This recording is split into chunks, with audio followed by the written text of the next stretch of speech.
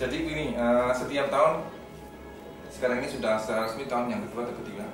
Kedua. Kedua, uh, kita memprioritaskan 10 orang uh, seniman berupa berupa itu ya macam-macam kategori ada fotografer, ada fotografi, ada fotografer, ada uh, seniman ilustrasi, ada fotografi karya dia.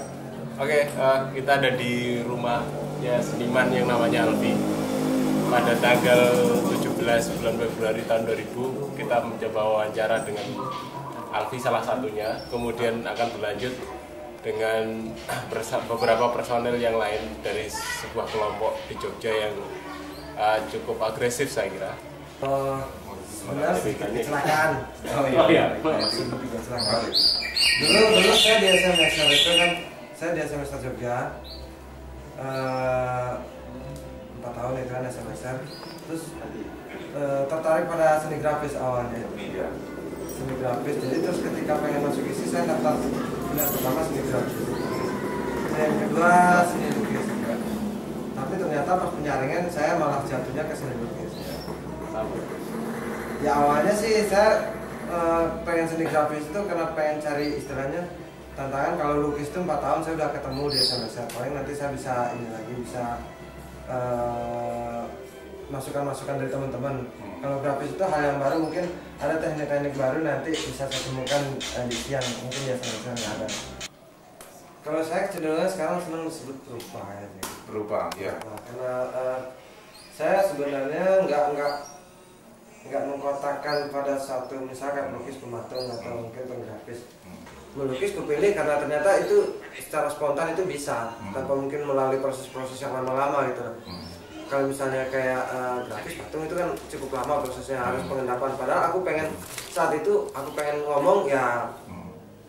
ya ngomong Ya. Eh, di lukis itu ketemuin kayak gini Ya. Kalau Apa- saya kalau misalnya orang gini improvisasi misalnya. saya nggak bisa kalau misalnya misalnya orang gini kan wah ini menarik terus saya ngelukis di kantor wah ini nggak bisa ya kayak gini Artinya peran sket di situ berdiri sebagai karya ya? Seket sama lukis sebenarnya saya sama aja menurut saya. Oh, begitu ya. Cuma kadang-kadang kalau mungkin saya pemikirannya gini, saya kalau itu eh, salah apa nggak ngerti ya. Hmm. Lukis karena mungkin saya lihat eh, besar gitu kan. Besar kadang-kadang karena saya suka sketsa saya karena kadang-kadang lebih spontan saya, tapi mungkin lukis besar akhirnya penyimpanannya jadi lebih Gede, eh, mahal. eh, enggak, gimana ya Hmm. Eh, saya tuh nggak nggak ngas nggak ngas apa cuma pengen ada media saya kan udah capek ngelukis. Ya, Eh, terus ada pengen bikin saya nemuin foto saya nyetak foto banyak itu. Loh ya. Eh, terus kebetulan saya nemuin eh, teh itu. Bungkus saya kan minum teh sering tiap pagi minum teh. Hmm. terus eh, kan sering digantung-gantung itu menurut saya itu menarik gitu loh. Menarik terus saya bikin kotak-kotak ini aja gitu. Terus saya gantung-gantungin itu terus ada gelas itu nandain itu minum teh gitu aja Eh, kalau peresmian pendiriannya itu ya. Eh, mengklaim bahwa kita satu kelompok yang namanya jendela itu eh, itu tahun 96 Hmm. 96. tapi sebelumnya ya kita udah kumpul-kumpul kayak gini aja. Dari omong-omong eh, awalnya ya kita terus pengen pameran gitu. Pameran oh gimana kalau misal dulu dulu pikiran dasarnya pengen pamerannya gitu. Eh, ada aku pelukis dua aku Yunizar aku patung Rudi sama Yusra terus ada Krian dulu Andi sama Irfan oke itu itu lumayan ada perbedaan kita berdua kita pameran rencananya gitu terus oke kita bentuk satu kelompok namanya Jendela Kenapa jendela? Nah, ntar dulu. Jadi pertanyaannya kenapa orang Padang itu sebenarnya dulu kan? Oh, iya, kan. Nah, ya itu dia eh, komunikasi biasanya gitu kan. Hmm. Eh, 96 itu sebenarnya kan eh, eh, apa? 96 itu pendirian, tapi awal-awalnya itu kan eh, kita kita ketemu tuh pas masuk isi itu. Oh, gitu. Eh, 93 Hmm.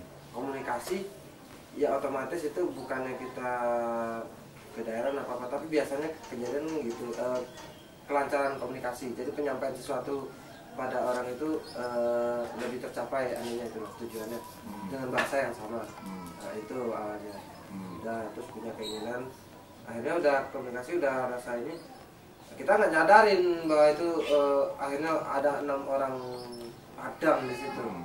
tidak bermaksud untuk itu. eh, mengangkat mengangkat Minang apa apa itu, itu kebetulan daerah yang sama Hmm. Akhirnya ya ya kelompok jendela Hmm. Eh, terus dikasih nama jendela itu dulu awalnya pemikiran gini Hmm. Hmm, kita membayangkan satu jendela itu eh, pertama mungkin menarik gitu. menarik dari bentuk itu buat kami menarik gitu. terus dari fungsi juga fungsi itu rasanya ya eh, standar standar maksud pengertian kan ada temennya itu pintu. Kalau pintu itu fungsinya lebih besar gitu kan. Nah, sedangkan kami itu merasa kami tidak besar pas itu. Awalnya ya kelompok jendela ini didirikan karena apa ya? Semacam ada ada apa ya? Kita ada- bentuk keluarga. Keluarga Iya, iya, paguyuban ya itu ya itu juga paguyuban itu sifatnya kan akhirnya memang jadi keluarga keluarga. semacam keluarga. Jadi awalnya gini eh kayak apa mau pameran gitu Iya. ya ada seleksi tapi itu seleksi. paguyuban loh mas kan sementara keluarga ya sementara kita kan ingin ingin apa nampilin hal-hal yang yang apa yang yang benar-benar yang kita inginkan tanpa ada pengaruh dari orang lain Iya. ada ada apa budaya dari tentang budaya ada kriteria-kriteria yang itu ada dari sementara kalau kalau kita sendiri punya punya apa punya punya tempat sendiri. Kita mau mau mamerin apa aja tuh terserah gitu loh. Asal asal kita kan bisa menyeleksi sendiri. Karena, karena kita punya dasar gitu untuk untuk untuk hal kayak gitu. Ya. balik ke jendela tadi Iya, kan iya. anu jendela tadi ya. Kami di dalam rumahnya gitu. Hmm. ini jendela. Hmm. jadi kami memfungsikan jendela itu ya ya untuk kami bisa ngelihat keluar orang bisa juga ngelihat ke dalam. Tapi untuk masuk menyatu itu nggak belum ada kata mungkinnya gitu Hmm.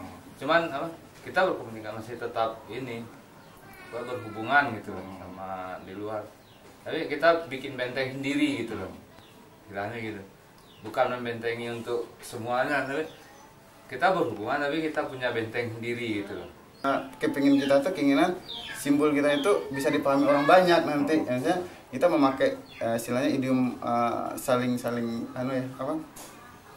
Ah, saling masuk memasuk gitu. Misalnya mungkin ada simbol dari bapaknya kita mungkin bisa dapat ambil dikit dari dari bentuk-bentuk yang udah ada ya. Dari kita jendela juga ada gitu. Akhirnya bentuk-bentuk jendela itu sendiri akhirnya ada berseberangan dengan bentuk mungkin dalam ini eh, taring padi gitu. Hmm. Hmm. Nah, itu eh, mungkin salah satu untuk untuk mendekatkan kita gitu ya Hmm. eh, kelompok jendela.